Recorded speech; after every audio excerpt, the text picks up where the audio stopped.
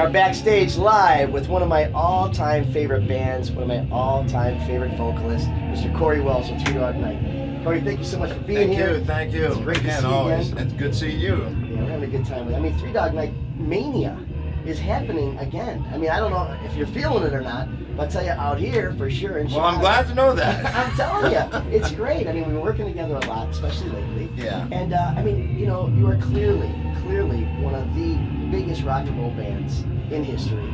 Well, thank know, you. Thank goodness, right? Thank you. Oh God. yeah, that's great. That's What do great. you think the reason is that your songs are so still so relevant? I mean, you're still selling downloads like crazy. You're still selling tickets at concerts. And why do you think your songs are so timeless? Writers. And uh, Those are classic writers. They were nobody at the time. Mhm. Uh, nobody really heard of Randy Newman, and no one heard of uh, Laura Nyro. But they wrote quality things, and, and so we were lucky that we were able to get those those songs and then give it our treatment. And we were lucky that we had the combination. It's the right time and the right place. The you know, so and I think that's what that's what the longevity has been. Those writers, I mean, it's amazing. These some of the writers that you've had. Uh, Elton John. Elton John. What did Elton do for you? Well, actually, we got a demo from him uh, on the second album. I think it was we got a thing called Lady Samantha from him, and we liked the song. We, we we took it in the studio, we recorded it, and we thought that you know it had a lot of potential, and it, it did, and it was a great song. But the story goes, and from what I heard, that he was ready to get out of the music business. He was ready to go get a real gig from an eight to five gig, and that he was done with it. Well, when this album sold, it sold a million they it put him back in the game again. So, so then later on, about a year later, I think it was maybe shorter. I'm not sure, but uh, we were in England, and he came to see us backstage at the Marquee Club, and said he had another song for us, and he wanted to give us this song, and he.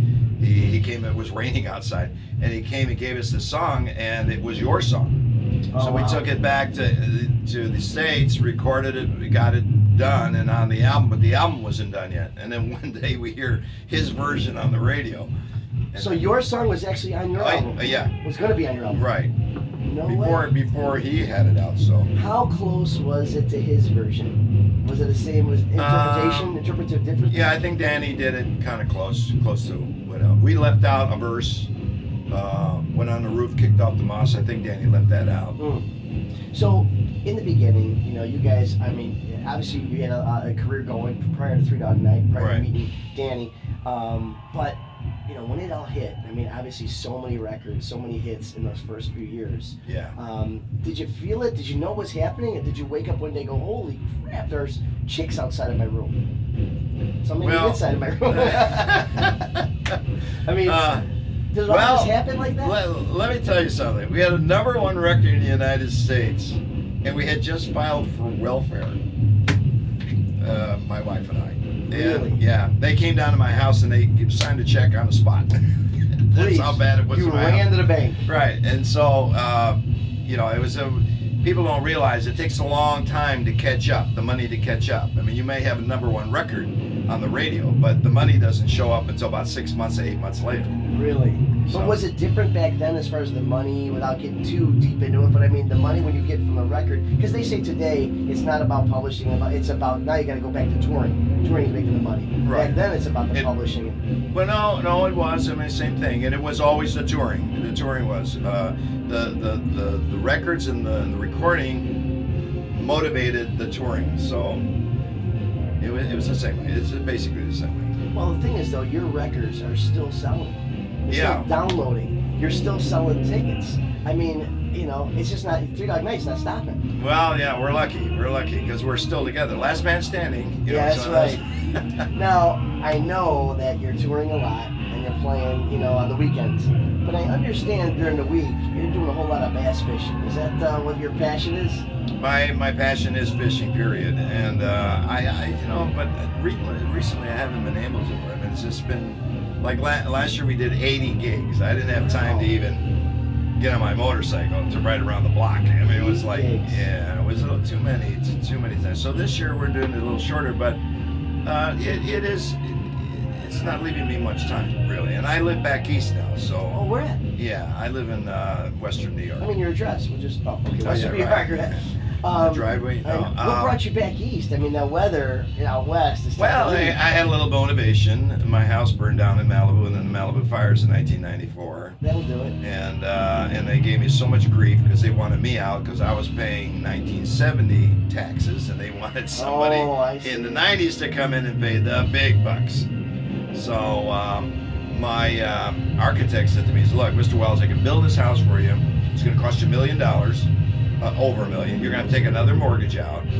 and you're gonna get like 10% of the house and it's you know I, I can't even guarantee it's if i was you i would take the money go somewhere else and buy twice as much for Sure. half as much Pretty good advice. Yeah. Pretty good advice. and uh, you know and and plus my wife and my, and, and i our uh, our mothers were getting on in their years and we had, i got a chance to spend the last five years with my mother and That's huge. she got a chance to spend the last 10 years with her mother so That's huge. That's huge. Great. What is your favorite Three Dog Night song? i don't have any That's an easy way out, man. Just come on, give me something.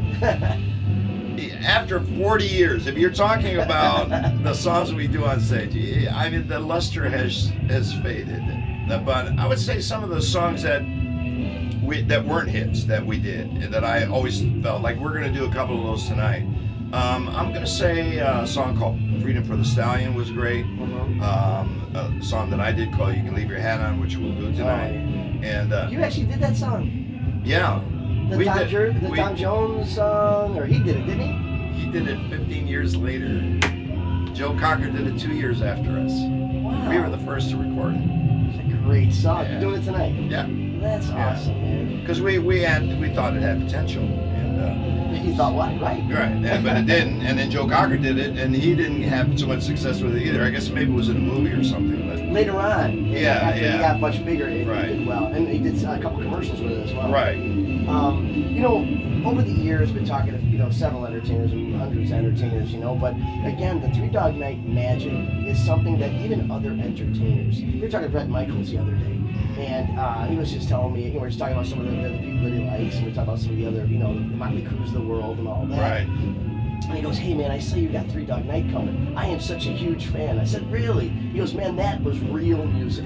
That was real rock and roll. You know, we're, what we're doing out there now, that's rock and roll too, a different type of rock and roll, but that was real music." It's cheating rock and roll. well, you know, kind of a little bit. They tweak all the Yeah. flats and sharps and But with your, your your magic, I mean, your magic still today, even to the rockers of today, is big.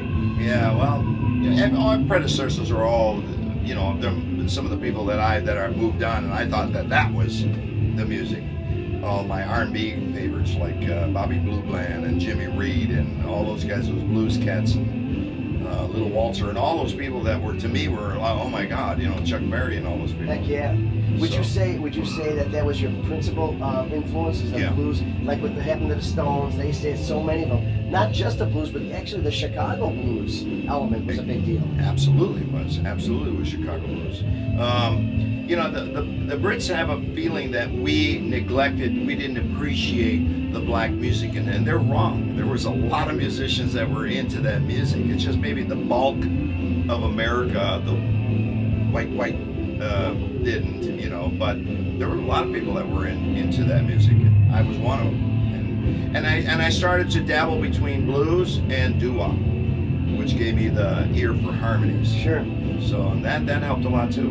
Well, I can't thank you enough for doing this, Cory. I'm just All such a huge fan, and uh, please come back and see me, won't you? All right, absolutely, man. Thank you. Thank you. Thanks. We are backstage live with my all-time favorite bands, Three Dog Night, founding member Cory Wells. We'll see you again backstage. See the ladies are insane there.